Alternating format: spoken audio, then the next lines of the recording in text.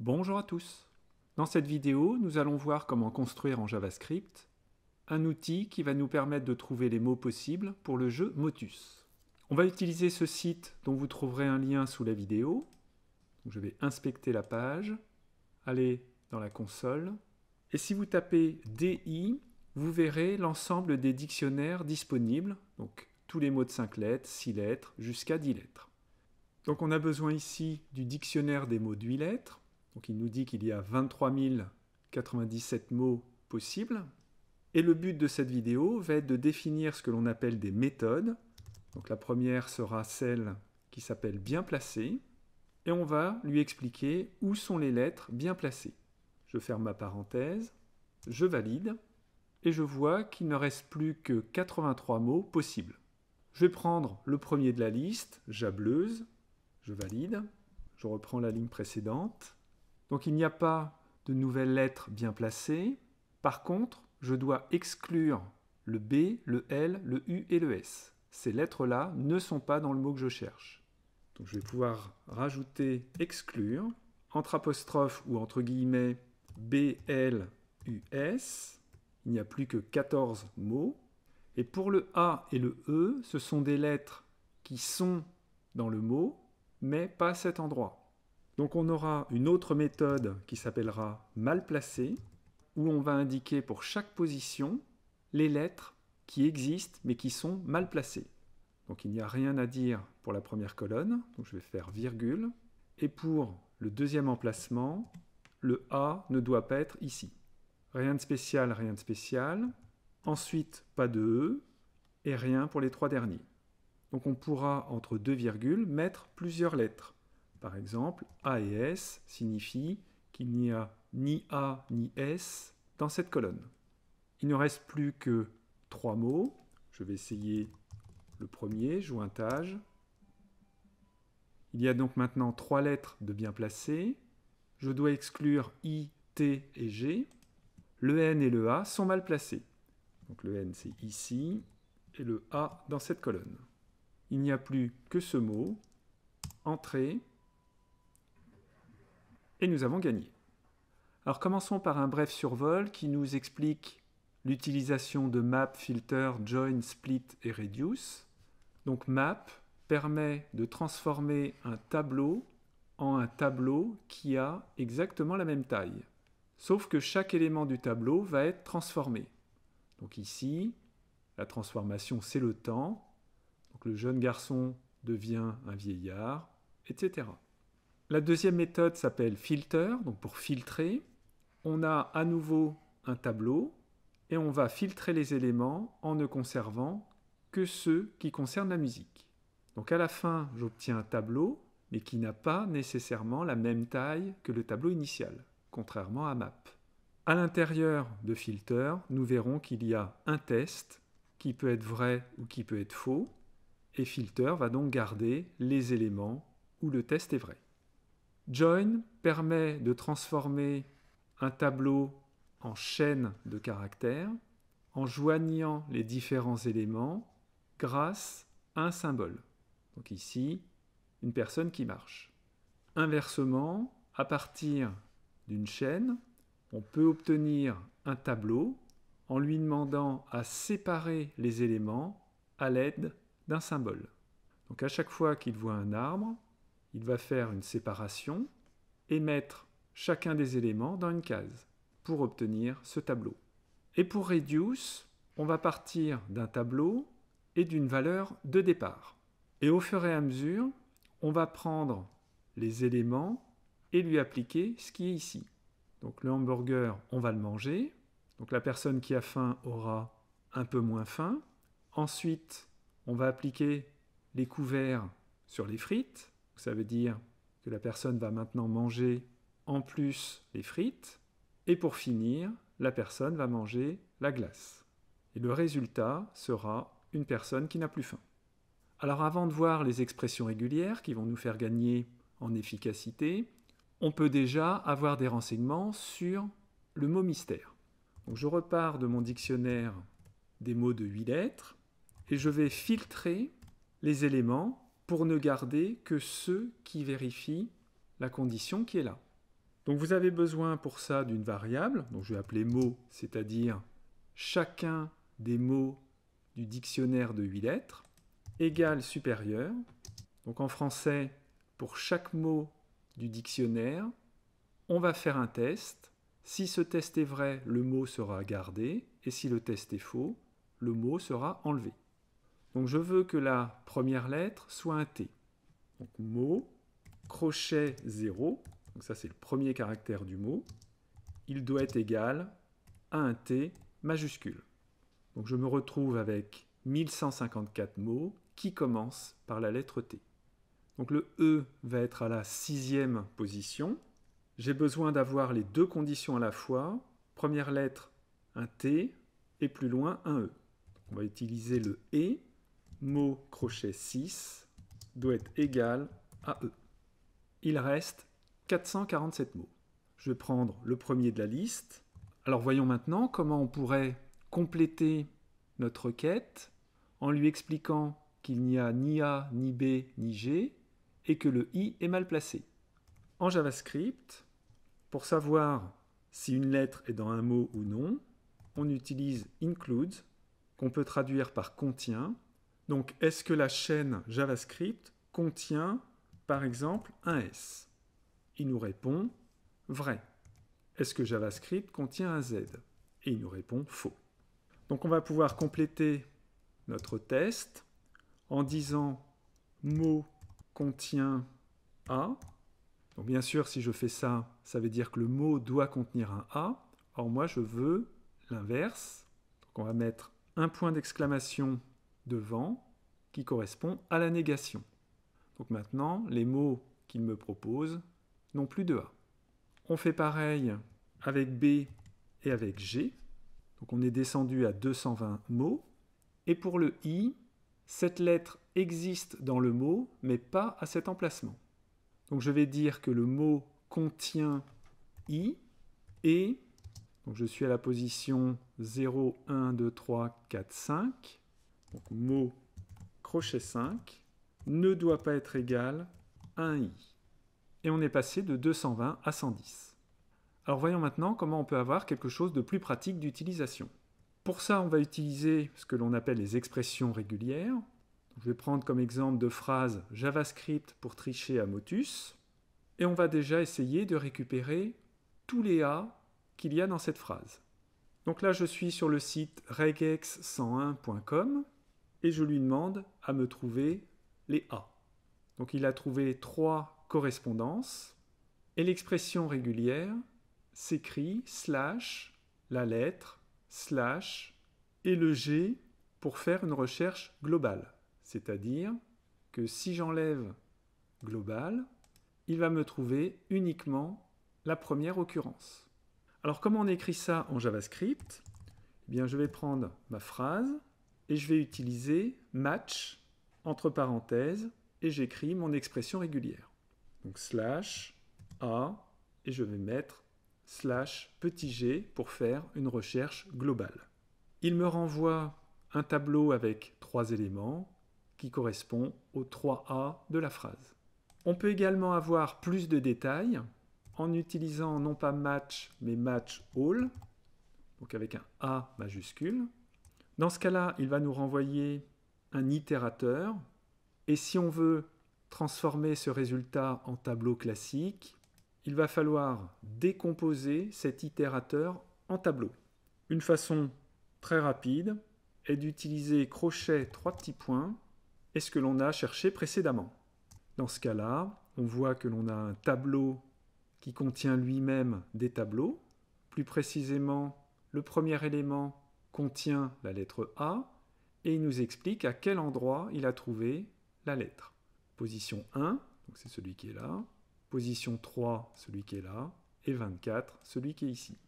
Si vous voulez trouver plusieurs lettres, par exemple toutes les voyelles, vous tapez phrase.match slash a pipe e i o u slash g pour une recherche globale.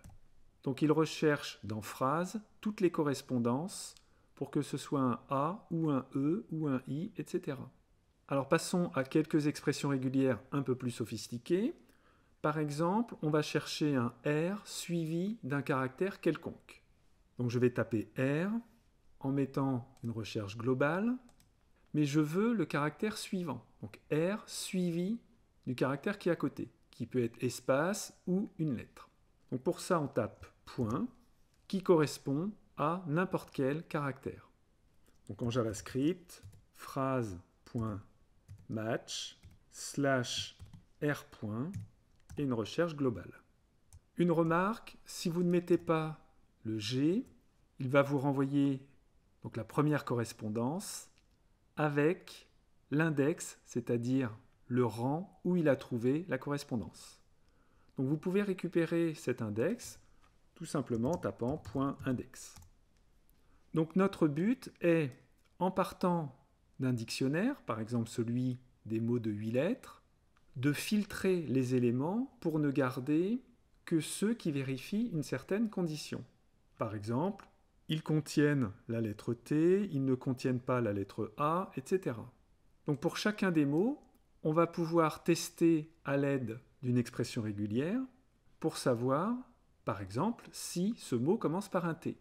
Alors pour savoir si le mot commence par un T, on met un accent circonflexe, ça veut dire débuter par. Donc est-ce qu'il arrive à trouver une correspondance avec débuter par T? Donc là, il nous renvoie nul, c'est-à-dire qu'il n'a pas trouvé de correspondance.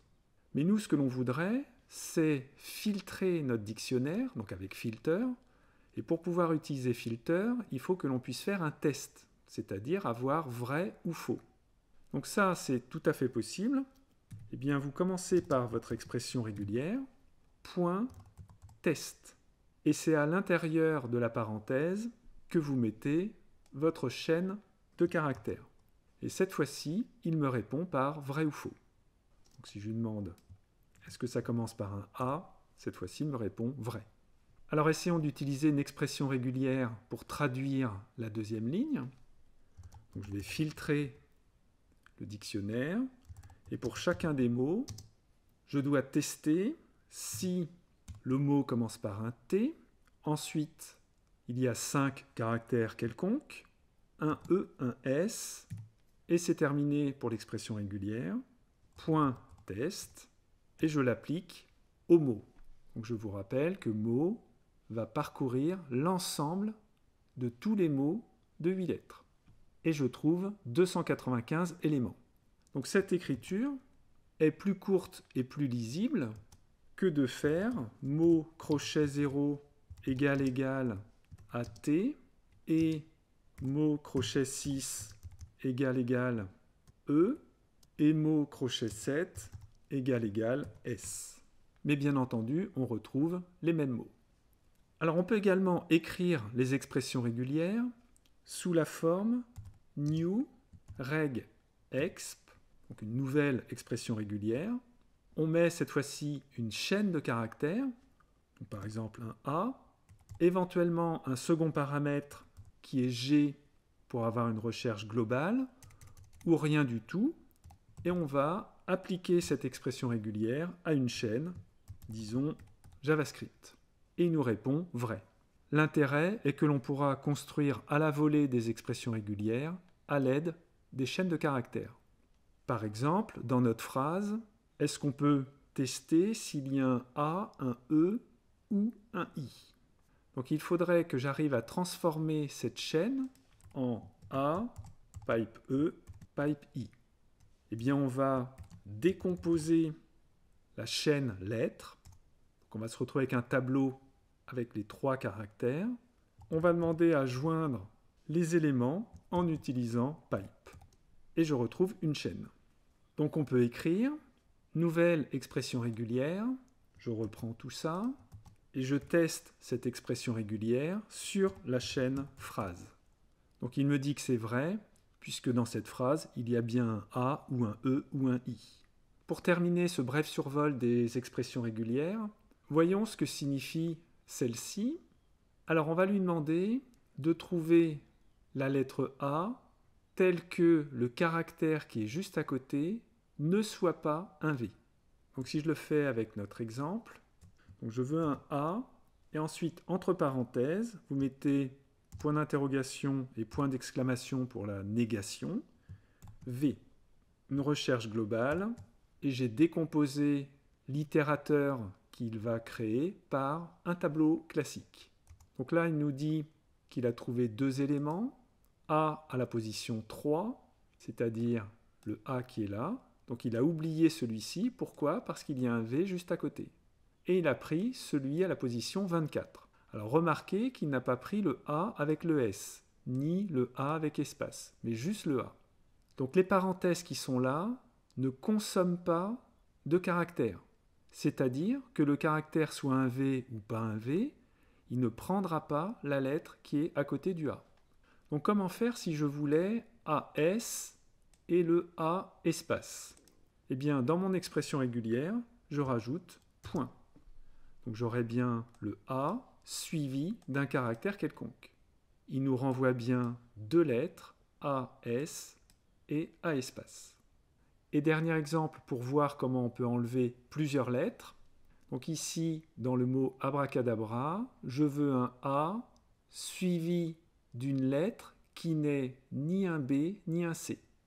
Donc on remet point d'interrogation, point d'exclamation entre parenthèses, et entre crochets, la liste des lettres interdites. Et pour être sûr d'avoir en résultat deux lettres, donc le A et un caractère. Donc si on le fait à la main, j'ai A suivi d'un B, donc ça ce n'est pas possible puisque je ne veux pas de B. A suivi de C, ce n'est pas possible. A suivi de D. Donc il doit me renvoyer AD, qui est à la position 5.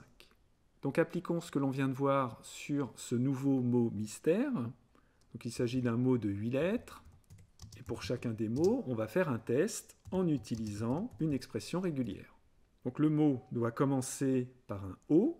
Soit je mets accent circonflexe O, ou alors je mets juste O, mais je m'arrange pour qu'il y ait bien toutes les lettres du mot, c'est-à-dire 8 symboles en tout. Je vais mettre E et un point. Et j'applique donc cette expression régulière au mot. Et on voit bien que cela fonctionne. Je vais prendre le premier, obésité, entrée. Alors il y a maintenant des lettres à exclure, le B, le I, le T. Je reprends la ligne précédente et je vais ajouter une nouvelle expression régulière en mettant les lettres interdites, donc B, ou I ou T, point test mot, donc ça, ça signifie qu'il faut que le mot commence par un O, qu'il y ait un E pour l'avant-dernière lettre, et en même temps qu'il y ait un B, un I ou un T. Donc c'est pas ça que je veux, moi je veux qu'il n'y ait ni B, ni I, ni T. Donc je vais prendre la négation de cette expression régulière. Donc la négation de avoir B ou I ou T, c'est ne pas avoir B et ne pas avoir I et ne pas avoir T. Donc on n'obtient plus que 38 mots.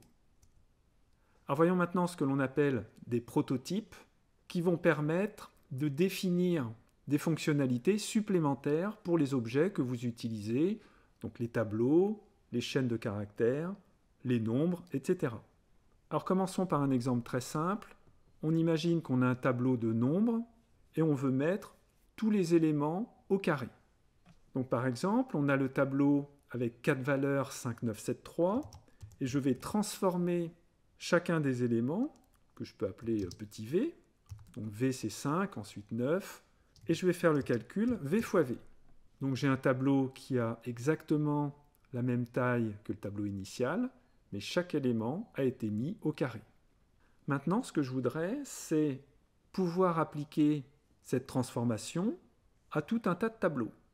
Et donc avoir quelque chose comme ça qui nous dirait mets au carré ce tableau-là il existe plusieurs façons pour arriver à ce résultat. Je vais utiliser dans cette vidéo array.prototype et ensuite le nom de la méthode que vous voulez créer. Moi, je voulais l'appeler carré. Donc on sait déjà que pour les tableaux, on peut inverser l'ordre, on peut les trier, et bien maintenant, on pourra également les mettre au carré.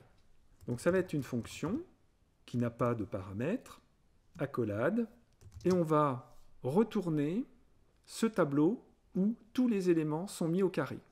Donc le tableau lui-même, ça va être 10. pour ce tableau-là, chaque élément doit être mis au carré. Je ferme mon accolade et je teste. 5973 point carré, donc on voit qu'il connaît carré, parenthèse, parenthèse, et j'ai bien le résultat. Vous pourrez voir sur Internet qu'il y a d'autres façons de définir les prototypes, en particulier avec Object. Alors on va pouvoir définir la méthode bien placée, où on aura en paramètre un mot. Par exemple, t, e, d'autres lettres à côté. Donc il va nous retourner le tableau qui a appelé la méthode bien placée, et en ne gardant que les mots qui vérifient le test par rapport à l'expression régulière. Est-ce qu'il y a bien un T Ensuite, est-ce qu'il y a un caractère quelconque, quelconque, et ensuite un E C'est donc terminé pour ce premier prototype que l'on peut tester. Donc je fais entrer. Je vais prendre le dictionnaire des mots de 8 lettres et je vais lui dire quand bien placé, il y a, donc je mets tout simplement une chaîne, G, point, point, G, et ensuite 4 caractères. Et il me reste 36 mots possibles. Alors définissons maintenant l'autre méthode pour les lettres à exclure. Donc le paramètre lettre va être également une chaîne avec les différentes lettres qu'il faudra interdire. Si le paramètre est une chaîne vide, on va retourner le tableau complet, c'est-à-dire 10. Sinon, on va décomposer la chaîne en tableaux. On va joindre les éléments avec pipe. on aura par exemple A, R, S. On va appliquer l'expression régulière qui va donc être slash A, R, S au mot M. Si le test est vrai, ça veut dire que le mot contient A, un R ou un S. Donc nous, ce que l'on veut, c'est la négation. C'est pour ça qu'on a ajouté un point d'exclamation. Alors testons les méthodes bien placées et exclure sur ce nouveau mot mystère. Donc j'ai le dictionnaire des mots de 8 lettres, bien placé, D, 4 lettres, D, 2 lettres. Je vais taper le premier. Donc je vais pouvoir compléter les deux dernières lettres, plus le A et je complète avec exclure et la chaîne des lettres qui sont à enlever. Donc je dois enlever un N et un I. Exécute. Il ne reste plus que le mot dorade, qui est bien le bon mot. Alors terminons avec les lettres qui existent mais qui sont mal placées. Alors par exemple, dans le dictionnaire des mots de 5 lettres, je veux qu'il y ait un Z, mais que ce Z ne soit pas en dernière position. Donc avec une expression régulière, on pourrait écrire filtrer, et pour chacun des mots, quatre caractères quelconques. Ensuite, je ne veux pas qu'il y ait un Z, je remets donc le cinquième caractère, puisqu'on a dit que les parenthèses ne consommaient pas de caractères. Point test sur le mot. Donc si je m'arrête là, il va me renvoyer l'ensemble des mots de cinq lettres où il n'y a pas de Z en dernière position. Il me renvoie également les mots qui ne contiennent pas de Z. Or moi, je veux qu'il y ait un Z. Donc on peut faire et Z test mot. Donc le mot contient un Z. Cette fois-ci, j'ai bien tous les mots de 5 lettres qui contiennent un Z, mais le Z n'est jamais en dernière position. On peut vérifier qu'en enlevant le premier test, on trouve bien tous les mots qui se terminent par Z. Alors il y a un autre moyen d'arriver au même résultat, c'est de filtrer et pour chacun des mots, lui expliquer que le mot contient la lettre Z et que mot crochet 4, c'est-à-dire la dernière lettre, doit être différente de Z. Et on retrouve 128, c'est-à-dire exactement le même résultat avec l'expression régulière. Alors voyons maintenant comment fonctionne Reduce. Donc le premier exemple, c'est la chaîne JavaScript pour tricher que l'on convertit en tableau. On part d'une chaîne vide, donc rappelez-vous de la personne qui avait faim et qui va au fur et à mesure manger son hamburger, les frites et sa glace.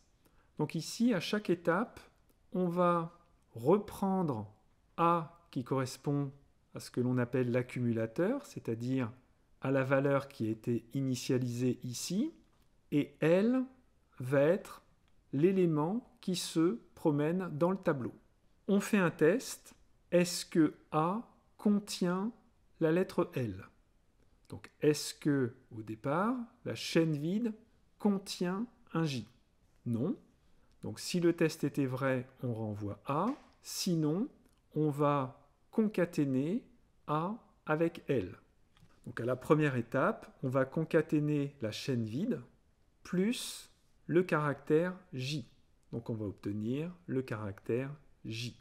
Donc maintenant A, ça sera le caractère J.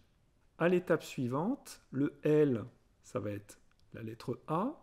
Est-ce que la chaîne J contient un A? Non, il n'y a pas de A dans cette chaîne.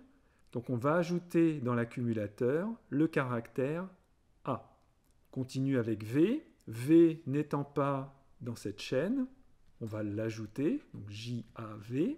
Et quand on arrive au A qui est là, le A est bien inclus dans cette chaîne. Dans ce cas-là, eh bien, on va renvoyer l'accumulateur, c'est-à-dire que JAV va rester JAV. Donc que fait finalement ce petit programme? Il va nous renvoyer de façon unique les lettres qu'il y a dans cette phrase.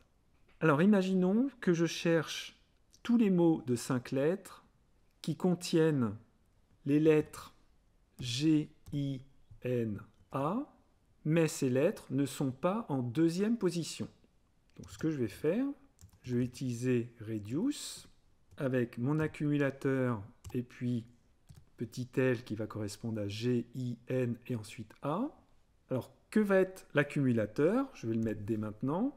Ça va correspondre au dictionnaire de tous les mots de cinq lettres. Donc le démarrage, ça va être tous les mots. Donc à chaque fois, on va filtrer l'accumulateur. Et pour chacun des mots qui restent, il faut qu'à la position 2, donc c'est mot crochet 1, ça soit différent de la lettre. Alors bien entendu, si je m'arrête là, les mots ne contiendront pas forcément les lettres qui sont ici. Or moi je veux qu'il y ait un G, un I, un N et un A. Donc on va lui dire qu'en plus, le mot doit contenir la lettre. Je valide et il ne reste plus que ces deux mots-là où à chaque fois les quatre lettres ne sont pas en deuxième position mais sont bien présentes dans le mot. Donc voici le premier prototype que j'ai appelé pas ici qui va renvoyer les mots qui contiennent toutes les lettres qui sont dans une chaîne mais ces lettres ne doivent pas être à une certaine position. Donc le mot crochet position doit être différent de la lettre. Et pour le prototype mal placé, on va partir d'une chaîne de caractères. Donc par exemple, dire qu'il y a un A et un N dans le mot, mais ils ne sont pas la première position. Virgule.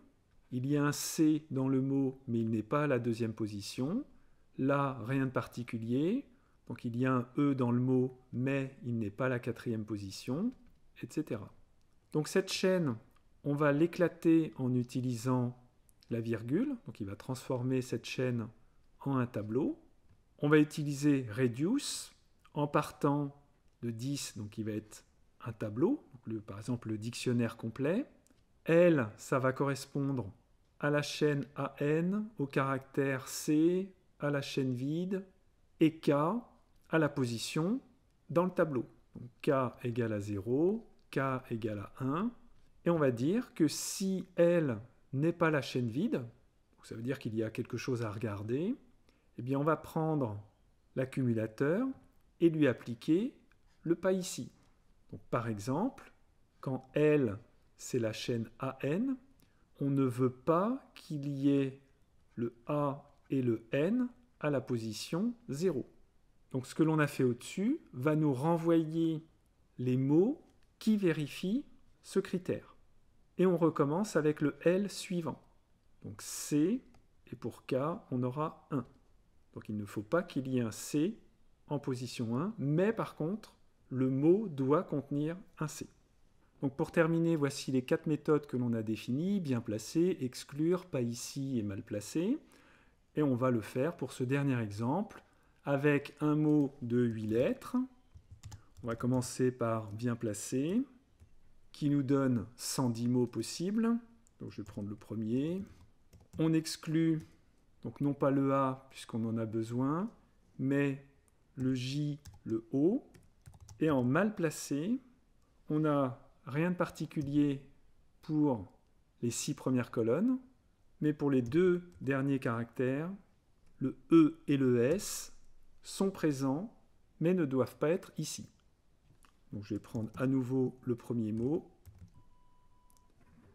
Et c'était le bon. Voilà, à bientôt.